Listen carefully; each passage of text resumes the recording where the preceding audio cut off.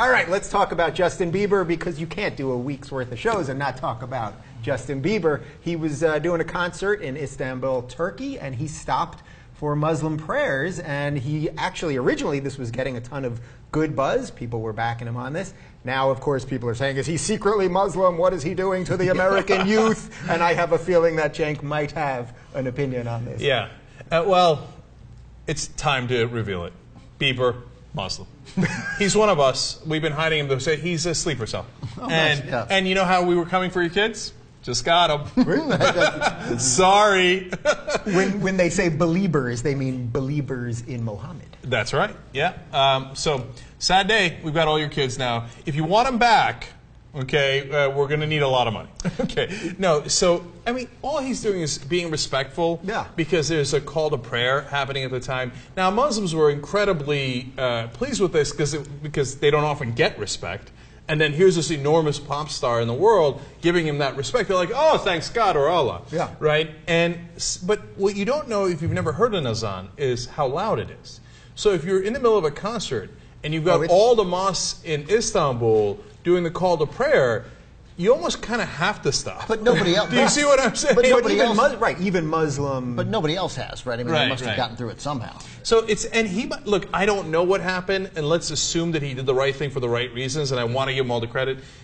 I, I remember when I once went to Turkey with my uh, girlfriend, who of course now is my ex-girlfriend. That was a long time ago.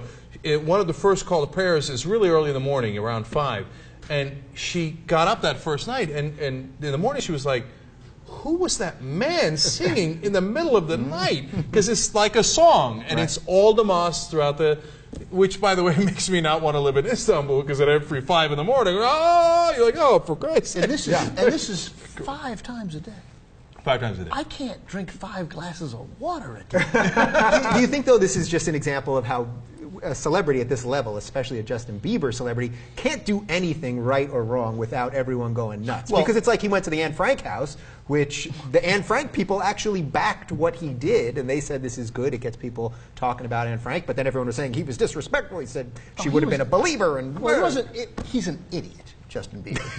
Okay, kid- that's a good term. Kid is a fool, um, and there may be hope for him somewhere down the road. But his behavior, all of a sudden, you know, I liked the Justin Bieber movie. We all did on What the Flick. We gave it a pretty good review because it seemed to kind of like you felt like you got to know him a little bit. It was a little bit revealing. But in this tour, I mean, with the showing up at a concert in London like two and a half hours late, there's like 13 year olds at this concert. You can't start a concert at 11 for nine year olds. And he also went after a photographer, like he was all thuggish one time, you know. and he's wearing, wearing German gas masks Right, when so- he walks down the street. I mean, right, there's something. right, something has slipped with this guy. And again, I got it. Even if he just said Justin Bieber, hey, cool place, and seems awesome! Exclamation point, right? But he didn't get it. Like he doesn't get it, and he doesn't have people around him who are helping him to get it. Like, of course, Anne Frank wouldn't have been a belieber for crying out loud, uh-huh. right? She might have been a fan. She had posters of, you know, but uh-huh. but he just like.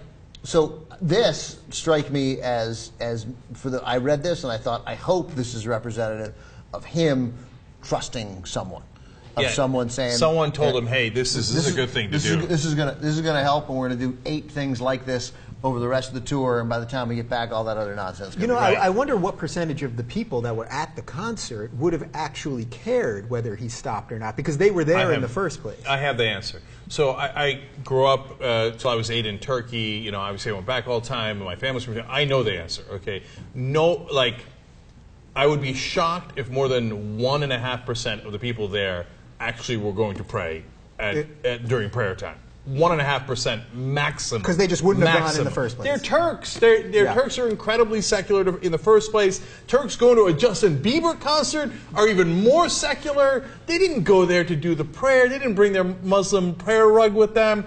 But don't get me wrong, they super appreciated it. Not that because they were going to pray, but because hey, hey, he's sensitive to our culture. He respects us. That and to a Turk, getting that kind of respect is very important. So I'm sure that they love him for it now, even though no one was praying. Right. I wonder, though, do you think there's a chance that some of the secular people that were there were upset by it because they this is sort of their escape to secularism when they go to a, a Justin Bieber concert, Oh. and then you're throwing the religious thing that's in it's in every country, uh, and then it's just sort of appearing in a place that it doesn't even belong. You know? Because he's Western, I don't think they would have had that reaction. If he was Turkish, definitely. Ah. Half the crowd would be Allah belasını versin, which means may God damn him. but like, what are you busting up my concert for with your stupid religions thing?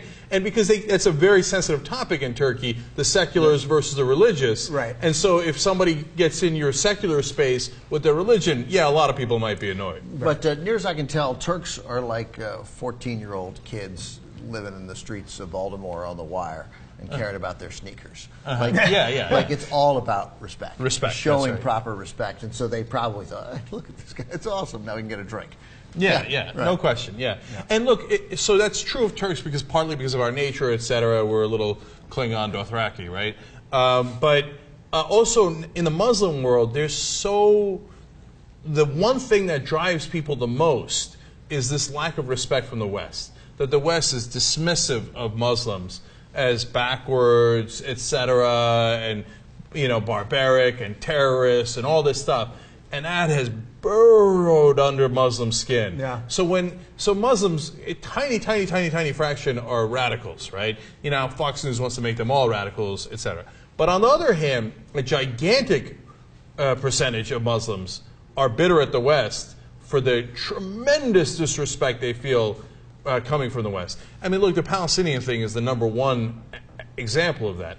I mean, you know, today there was a story Israel decided, oh, you villagers who have lived in this area for thousands of years, you're gone. It's now a military firing zone. You'll be evacuated. We'll destroy your homes, and it's now ours. You're Okay? saying they don't like that. Yeah, that, that tends to get under people's skin. And but but it's not just those guys. It's not just the Palestinians. It's a random Muslim, and it might be in Jordan, and it might be in Indonesia, who thinks, "Fuck, man, we're powerless," and they just keep running over us. And God, that sucks. You know, and that's the anger. That's the frustration.